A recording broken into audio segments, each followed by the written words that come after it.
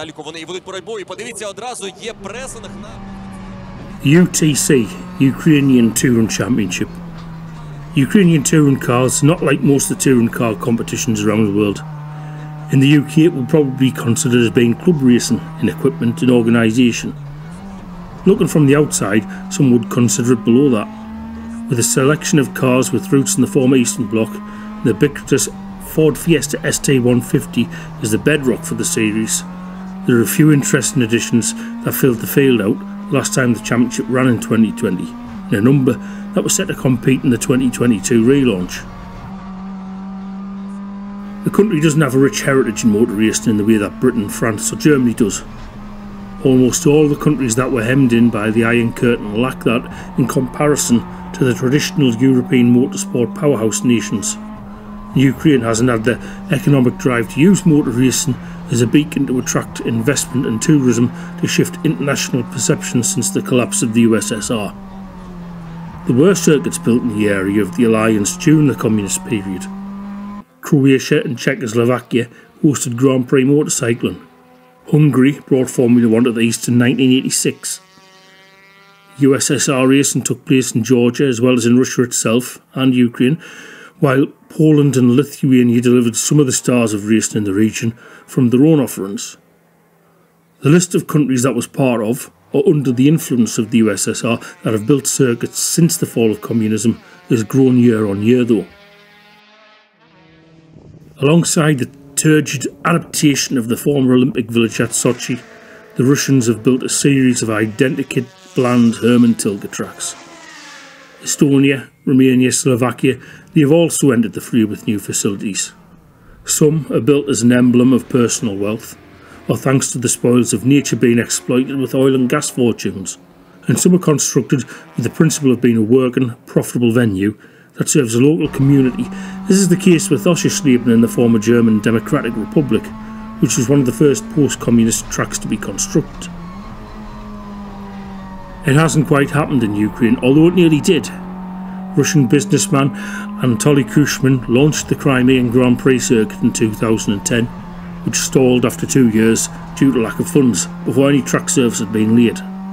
The Russian invasion of the peninsula in 2014 made the venue, which was also intended to host the Ukrainian Touring Championship, a place where nobody would want to go for political reasons. There has been no fossil fuel wealth in Ukraine or a government sports washing campaign or a personal benefactor to bring a high level circuit to the country. Kazakhstan is ready for a MotoGP. Azerbaijan hosts Formula One. In the last 20 years, Russia has built nine permanent circuits, including two Formula One level tracks. In Ukraine, nothing like that has emerged, and as such, the sport of motor racing has remained niche, and it has not built a status of elitism as it has in other states formerly under Soviet influence. There's only one permanent facility in the country, the Autodrom Chaika, which translates as Seagull Autodrome. It's also known as the Kiev Ring. The circuit was constructed in 1975, and prior to the Russian invasion in 2022, it was for all intents and purposes original. The track surface was what in this country would be considered poor condition, patched here and there through an ongoing battle to keep it usable. Armco, where it exists, is below standards that we're used to in the United Kingdom. Spectator enclosures are positioned in places that simply wouldn't be allowed over here, and the pit lane entrance would create a bit of discussion too. It is, however, the heart of Ukrainian motor racing, and it is an important centre for the sport in the country, not just in circuit racing, but also in bike racing, drifting, and rallying. In the 70s, the circuit was known as being fast and challenging when used for cup of peace and friendship racing. Single seaters were regular visitors to the track. Cars with a weight limit of 435 kilograms, using an engine from a communist manufacturer with tyres manufactured within the bloc with a height of 80s competition. Constructors from many of the collective states raced into the decade, but as the totalitarian rule across the region ended, the single seater category began to fade. There have been attempts to revive it over the last few years, but heading into 2022, there was not a huge amount of suitable machines ready for a fully fledged series. Only half the circuit was in use, the last time that racing took place at the venue. After Ukrainian independence, the track, which had initially been constructed as part of an armed forces project, passed to the ownership of the Ukrainian military, who did not have the funds to keep maintenance to an operational level. The circuit fell into disrepair. A tidy up in time for the 2005 season allowed circuit racing to resume, although there was a cap on engine size for entrance for safety reasons. In the years since, racing the country has seen a rise in popularity. When competition resumed at the renewed circuit, it drew in decent crowds. Despite some local politicking dividing the circuit owner, the promoter, and the local federation, an agreement was settled and the track became a focal point again for racing in the country. Although it is the only permanent facility in the country, there was an attempt to launch a street track for international racing at the turn of the millennium. A second venue was added to the Ukrainian Touring Championship schedule a couple of years ago. Odessa, a street circuit of sorts, or a highway heading southwest towards the coastal town of Ovidopol. Again, the track is something that could be taken from the past in terms of setup. Essentially, it runs along two sides of a highway with no barriers separating the two lanes as cars return in the opposite direction.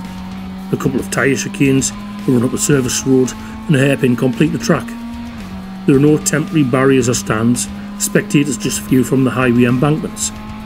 In a way, racing in the country is not being limited by red tape, and in a way, it's reminiscent of how things were in the UK in the 60s and 70s. The idea would be knocked back in a second in Western Europe now, without millions being spent in feasibility studies and track infrastructure planning. Even then, it would likely be rejected, but here, enthusiasm trumps reasoning when it comes to making things happen. To the outside of the whole thing seems a little hodgepodge, and that includes the cars. The three division setup has governed the Ukrainian Touring Series for a number of years GT Open, Touring, and Super Touring. Not the 2 litre behemoths that dominated 90s competition around the globe, I may add. Before the invasion, a reorganisation had been planned for 2022. Hopefully, that will come to light as soon as is practicable once this war is ended. As mentioned earlier, many of the competing cars have their roots in the Eastern Bloc. The VAZ 2108, or Lada Samara in the UK, is the numerically dominant model along with other offerings from the company. The odd example of the Boxy Lada Riva makes appearances and two machines rarely seen on our shores, the Kalina and the Priora, fell out the second half of the grid. At the sharp end, the Fiesta ST150 is the mainstay.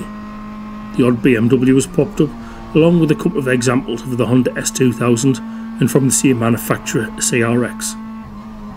It's a mix comparable to some of the British regional championships, like the Northeast based Northern Saloon and Sports Car Championship and the Northwest based CNC Head Series, in the way that cars of very different classes race together. So, you can draw together that Ukrainian touring cars are similar to a club level form of racing in Britain. From a technical, administrative, and facility point of view, it's been below what would pass in the West as a leading championship, but the passion I mentioned makes the race in the country as relevant to its participants as forms of racing elsewhere do to their own members. If you listen to the thoughts of 2020 runner up Andrei Yevashenko, you get a similar gist to any other racer in the world after finishing the race in second, in this case to Igor Skuz.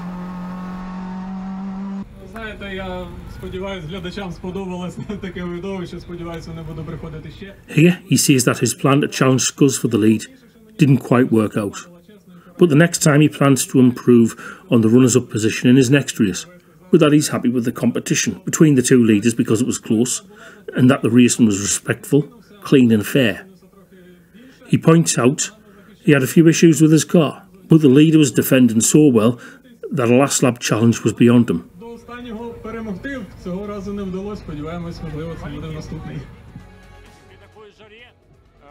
Skuz himself, here on a scorcher of a day, when things didn't go right, well, he's no different to other races around the world. The five time Ukrainian touring car champion ruminates that it was good to qualify at the front of the grid, but the race was spoiled by a number of issues with the car. The electrics struggled before failing completely. They really were taking a hit from the hot weather. He also found the heat to be testing as well. But you just commit to it and get through into your rhythm. He also says that it was good to see the fans out in the stands, though. They could see it was hot.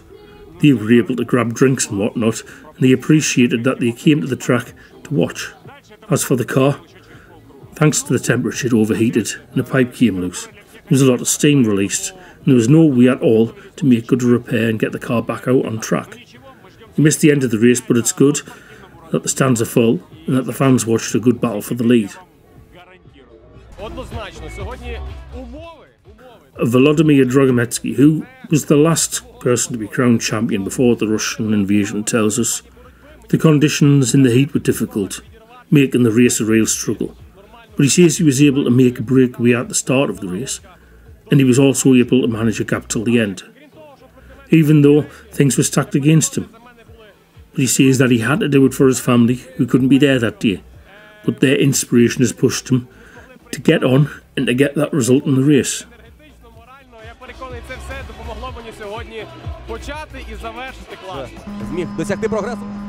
Familiar voices in racing in any language, but for 2022 and for quite a while yet, those are voices that will remain in the past, as many of those who raced in the series are now engaged in the war effort. Ukrainian Touring Championship might be at the bottom of the FIA pile for now, but it would be foolhardy to dismiss how racing works out in the Ukraine. Their way of doing things answers some questions that are asked in the UK about racing at a similar point. Like how do you get fans through the doors? The conversation is long standing about crowds and national and club racing. We essentially look at racing at grassroots as been the automotive version of Sunday League football watched by one man and his dog. By necessity, the Ukrainian series has had to find a way to keep a crowd entertained. With there only being one championship on the bill, the timetable offers two hours of free practice, an hour of qualifying, and two one hour slots for the two races and their build up. That's five hours of track time in a 10 hour day. Actually, that's still better than what you would get on a Formula One Grand Prix Sunday. But they came to the realisation draw the fans in and give them a good time. Quality street food at a reasonable price. Car club exhibitions. Very low entry prices, a playground and a fairground. Drift taxi, hot laps, car culture, open media sessions, anything to get the crowd involved. Making sure the cars and drivers are positioned to welcome spectators. A very, very positive and proactive relationship with as much media as possible, which is how you get the message out. It pays off with a dedicated following, and it's something that British racing, at all levels, could look to as an influence. Once again, however, all of this is on hold. The circuit was hit in the early days of the war. To what extent the damage is, I don't know. I do know that apart from some damage to the track itself, at the very beginning of the war, that some of the garages holding the cars that you've seen in this video were destroyed, along with the contents. The contacts I have in the country haven't been able to exactly verify personally the current condition of the venue, but I do understand that it will need a lot of work. But it will be far from being a priority once the hostile actions of Russia cease. There are some noses that would be upturned at what is accepted in the country, but the desire for motorsport is undimmed. Community, that is at the heart of the existence of the racing scene in the capital of the country. Drifting, bike racing, time attack, stock cars, rally, take place there. It's an underserved area in terms of FIA support. One can only hope that grants withheld from Russia and Belarus can be turned towards the nation in their post war recovery once the greater evils of the invading forces has been corrected. The Ukrainian touring series has survived no matter the litany of mountains it has had to overcome over the years. It might be small in one way, but like the tenacity of the people of the country right over the last year, it has shown that success is relative to passion. When I began this project, I contacted Sergei Saitar from Bitlook, who kindly provided the UEA2 and footage that was used from what you've just watched. Um, in the correspondence that went back and forth between us, he wrote this. The Russian invasion broke up all our plans for the 2022 season and also the next few years. Some of our athletes, organisers, race marshals, photographers, and cameramen are defending our country with the Ukrainian army. Some others are making a huge effort in volunteer work, and all of this instead of racing. We can't run these competitions and championships while Russian missiles are flying over our head. Now, plainly, hosting motorsport events in Ukraine right now, it's it's not the forefront of anybody's mind, and it won't be for a while. But the country does have drivers internationally representing and, and flying the flag in, in like FIA games, in Formula 4, uh, and in a number of disciplines. But the day will come when racing will return to Ukraine, and I think it's important that the international motorsport community bonds together to try and help to, to bring back the only track that's in the country. In fact, the dream would be to bring up to FIA Grade 3 or Grade 2 and, and to bring championships from across Europe to celebrate motorsport and, and to relaunch it when the time's right. For right now, the, the, the story of the Ukrainian Touring Championship, in fact, all motorsport in Ukraine should serve as a testament and an inspiration to show what can be achieved with passion, even if you don't have what other people would consider to be all of the tools.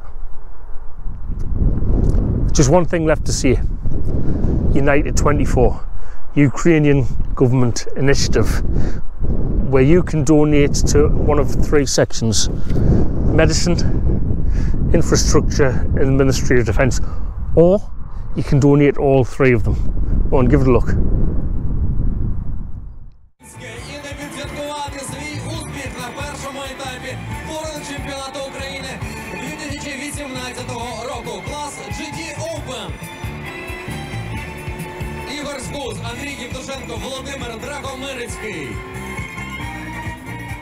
Звісно, сподіваюся, що ви отримали задоволення від цієї події. Не менше, ніж я коментуючи її для вас. Спасибі, що були під час.